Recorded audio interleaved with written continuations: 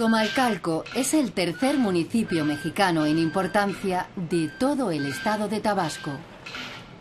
Tierra con una rica actividad económica derivada de la producción del cacao y el petróleo, pero con grandes bolsas de vulnerabilidad, pobreza y desigualdad.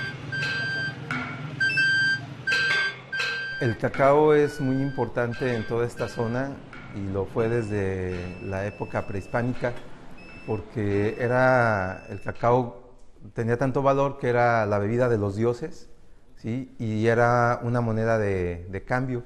A través del cacao se hacía mucho el trueque, era un símbolo también religioso, era un regalo que los dioses habían hecho al, al pueblo, al pueblo maya, pero también el cacao a la fecha sigue siendo una actividad muy importante y la cultura en Comalcalco es 100% de cacao. El cacao se bebe aquí en el pozol, en el chocolate y pues forma parte también como de la comida tradicional. Es la esencia de nuestros ancestros. Hemos nacido en un cacao tal y yo creo que lo, lo que en nosotros permanece o que prevalece es el mantener el cacao. Mantienen los productores el cacao tal, más por cuestiones ancestrales, por decir, en ese árbol veo a mi padre, o veo a mi madre, o veo a mi familia que hizo anteriormente que yo, y por eso lo tengo, y por eso le doy ese trabajo, por eso lo cultivo. Mi abuelo fue campesino y yo quiero morir campesino. Es como, como volver a, a nuestros orígenes y saber que pues del campo comemos. Y el cacao es muy generoso y se resiste a morir. Hemos visto plantas de cacao que están dobladas, a veces partidas, pero siguen dando frutos. Ese es el campo mexicano, ese es el espíritu del campesino y es el espíritu también de, nosotros que, no queremos que, que, muera el cacao, que no queremos que muera el campo, al contrario, creemos que, que hay mucha vida y que puede seguir dando mucha vida.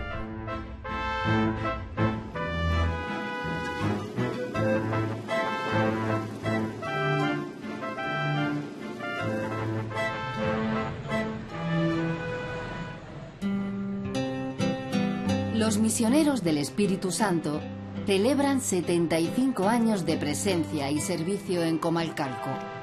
Misión y carisma compartidos por laicos y sacerdotes con un mismo objetivo, vivir el reino de Dios en Tabasco a través de la justicia, la paz y la solidaridad.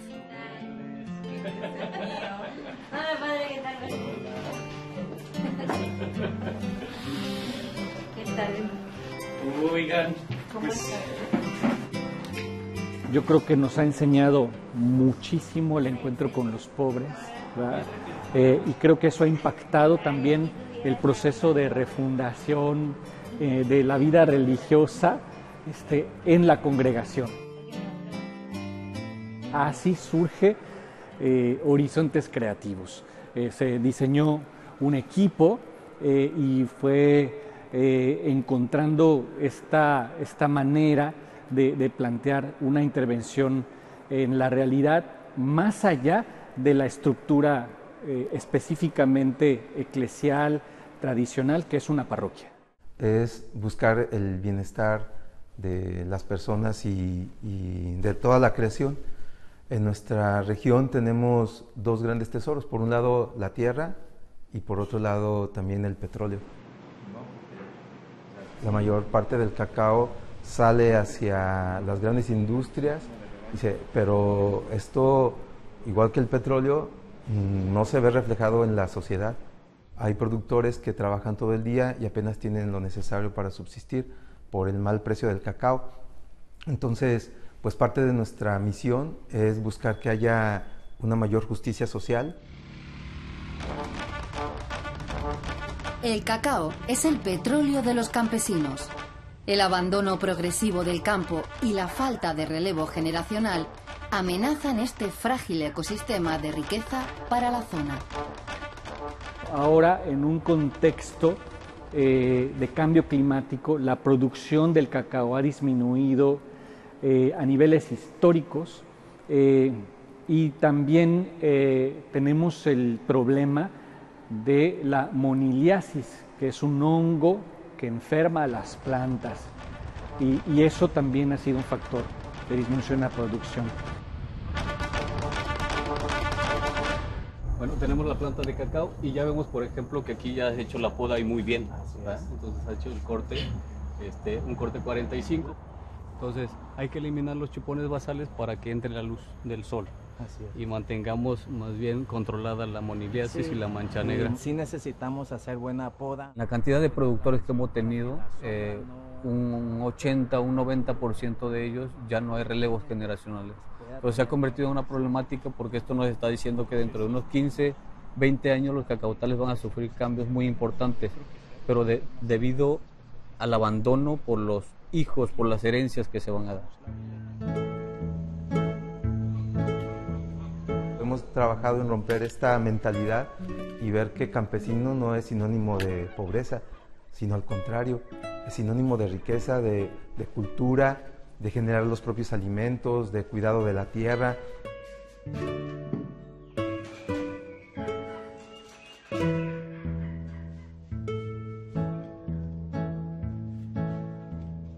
Don Martín y su esposa Yolanda son ejemplo y referente para los productores de cacao de la zona.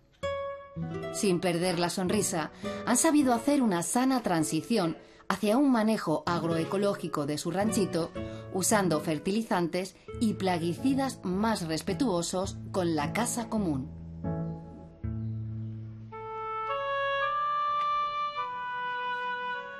Sí, yo gracias a Dios me gusta ser alegre pues y andar para acá y para allá.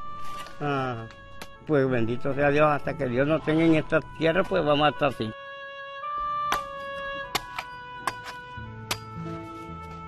Aquí tenemos muchas cosas, tenemos ah, especialmente el cacao. Tenemos guanábana, tenemos naranja, tenemos pimienta, tenemos este limón, coco, mango, cuántas cosas tenemos aquí en este rancho de aquí. Yo todo el tiempo desde que nací aquí estamos, mi padre aquí vivió y aquí nació y aquí seguimos nosotros. Nos gusta porque realmente el cacao pues fue nuestro sustento de antes cuando estábamos en chamaco.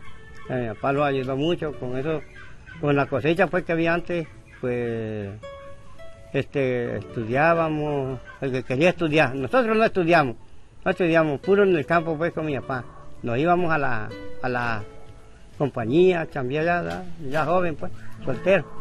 Pero todo el tiempo hemos estado aquí en el sustento del cacao, porque el sustento del cacao es este el que nos ha ayudado, pues. Con eso trabajamos, tenemos unas vacas, tenemos nuestros animales y ahí estamos. Lo que buscamos es generar una conciencia con los productores y con la sociedad del cuidado de nuestra tierra porque si no cuidamos esto, nos enfermamos, nuestros alimentos están contaminados. Don Martín se ha apropiado de, estos, de estas herramientas, de estas propuestas, las ha puesto en juego y eso ha generado que, que mantenga su producción de cacao en medio de la situación no fácil ahorita con el cambio climático. Le echamos este otro, otro, otro compuesto que hacemos este, orgánico que le metemos el, el suero de queso y le, hacemos, le ponemos el, la melaza de caña y le echamos ceniza para que este, con ese compuesto para bañar todo el suelo y, las plantas. Pues. Ah, y si hay alguna mortandad le echamos el agua de vidrio que le hacemos, que lo hacemos también nosotros. Nosotros aquí lo preparamos. Con la ayuda de Manos Unidas, ensanchan los horizontes de posibilidades para mejorar la calidad de vida de las poblaciones vulnerables de esta región de la Chontalpa. Manos Unidas fue la primera organización con la que empezamos a trabajar y decimos, no es solamente el apoyo económico que ha sido como importante, sino también la calidad humana. Es también el saber que, hay hermanas y hermanos de aquel lado que, se preocupan por la justicia, que quieren un mundo mejor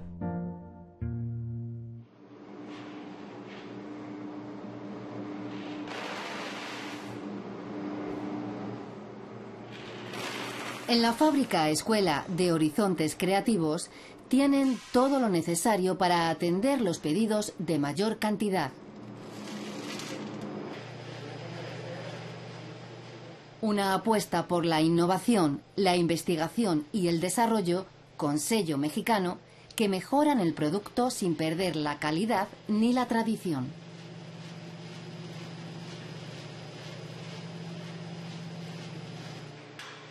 Este mismo proceso es el que se enseña a las distintas personas que forman parte de las cooperativas de cacautales y aliados de horizontes creativos. La ayuda de Manos Unidas ha servido para desarrollar estos procesos de formación y de tecnificación.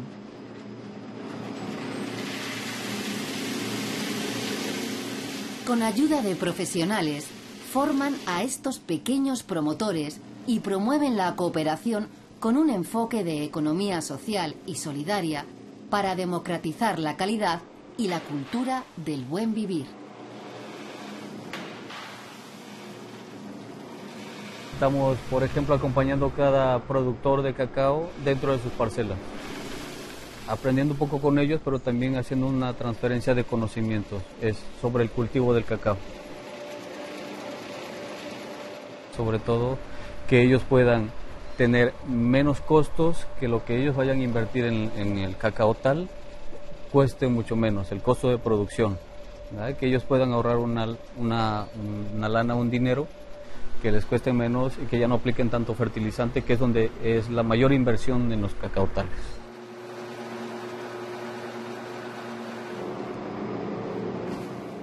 el impacto que han tenido en los productores sobre todo en los productores es la salud ya no aplicamos tantos químicos dentro de los cacautales y esto había generado anteriormente eh, problemas de salud, sobre todo. Comemos más sano y lo que le ofrecen al, al público es mucho más sano. Pues la gente de este pueblo es heredera de, pues del cacao, que es un regalo de Dios, ¿verdad? La alianza con Manos Unidas es muy importante para poder fortalecer la organización comunitaria de los productores, para poder dar pasos de mayor justicia y no solo con el tema de los precios. En esto, un papel importante lo van jugando las mujeres, porque antes las mujeres no heredaban la tierra y ahorita son quienes están quedando y también una buena parte de los emprendimientos de economía social y solidaria los están tomando las mujeres. Son las que están también revitalizando el campo, las hijas de los campesinos. Y en esto, pues también la mirada de la mujer ha sido muy importante porque tiene una mirada distinta, tiene una mirada de cuidadora. Y esto ha enriquecido también pues la mirada aún de los mismos productores. Recuerdo de niña cuando íbamos a, a quebrar cacao, nos mandaban a arrancar las matitas de los árboles que decían de los árboles que decía mi abuelito, estas matitas no me las van a aplastar porque las voy a sacar. Y las sacaba ya desde ahí y ya de una vez las llevaba al lugar donde iban a quedar. Las matas de, cacao ya, pie franco que le dicen. Y pues los recuerdo de antes, ¿no? Nuestros ancestros, cómo ellos trabajaban todo sin decir voy a comprar este, la tierra, voy a comprar una bolsa para hacerla, injertar la matita de, cacao. Eso empezó hace como 12 años, cuando llega el padre Gerardo a invitar a mi papá con el proyecto de Manos Unidas con España para el rescate del cacao. A mi papá le había dejado, heredado mi abuelito unas plantas de cacao y él las conservó, pero ya los vecinos y todos tiraron los tal. Mi papá lo conservó. Entonces llega este proyecto y me invitaron a mi papá a participar para rescatar el cacao.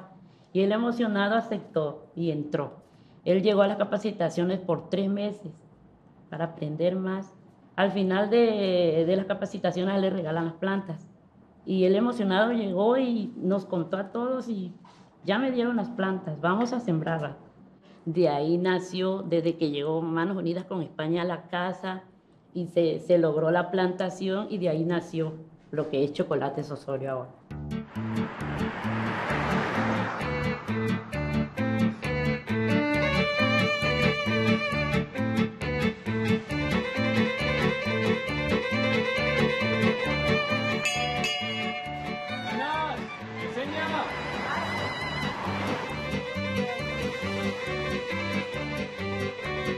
La visita a la chocolatería tradicional de Doña Yesenia es motivo de celebración.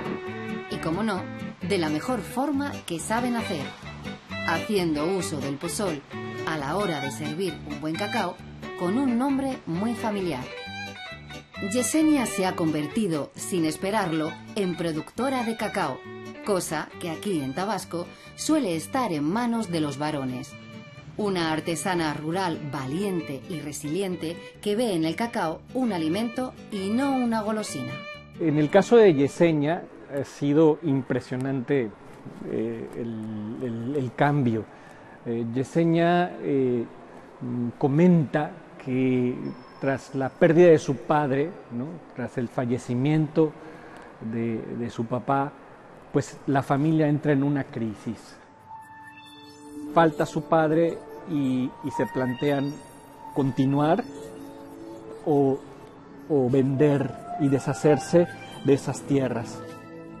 Y participan con el apoyo de nosotros, participan en una serie de talleres, ¿verdad? Este, que, estaban dirigidos para rescatar el cultivo de cacao y, ella se le abre la vista, el horizonte.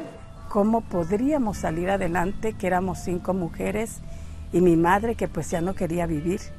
Fue, fue difícil, ya ella, al no ver a mi padre en estas haciendas, pues ya ella dijo, ¿qué vamos a hacer? No sabemos nada.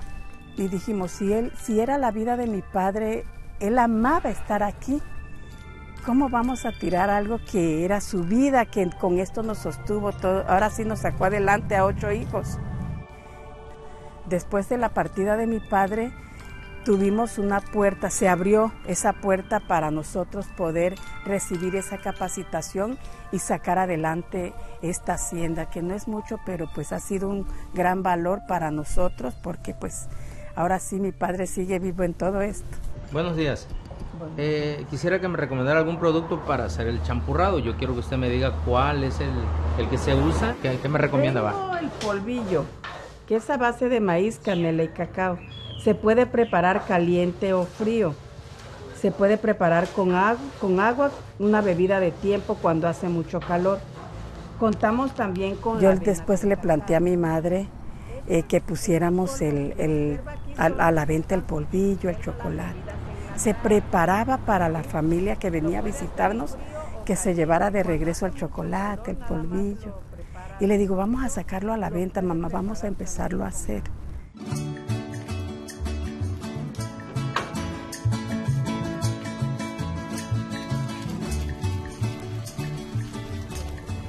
Aquí se ve y se huele el proceso tradicional para la elaboración del cacao criollo, con la ayuda de Diana Laura, que aprende los secretos y las buenas costumbres de la cultura para que no se pierdan.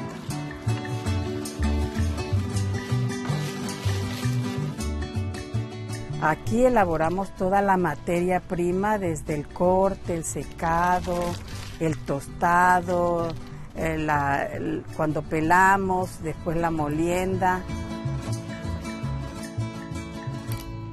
Hemos palpado en nuestros corazones, en nuestras vidas, eh, que ha sido una elección muy, muy buena, tanto para nosotros como para el cliente que nos visita. Lo importante es poner cuidado y cariño en todos los procesos, porque cada grano cuenta, como las personas, y el mejor tueste es el que se realiza con buena leña y a fuego lento.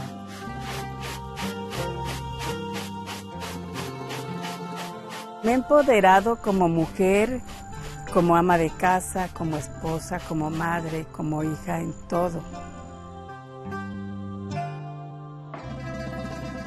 Sí me costó mis lágrimas, me costó mucho, discusiones, problemas, más que nada fue con la pareja.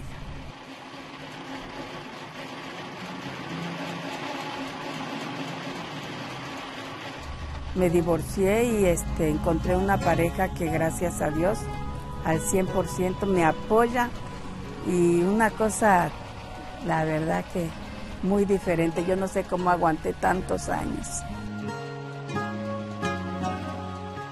Toda mujer puede salir adelante, toda mujer, porque se me han acercado personitas que dice ¿cómo lo hiciste? ¿Cómo tú te armaste de valor? Entonces el sufrimiento, le digo, la, la lucha, porque pues no es nada más de salir a flote porque sí, sino que todo aquello que vienes arrastrando y tú dices, ya estuvo bueno, hasta aquí. Gracias al apoyo de la ONG de la Iglesia Católica, reciben las herramientas para salir adelante por sí mismas. Ahora, de manera independiente y feliz, con su ranchito de cacaotal.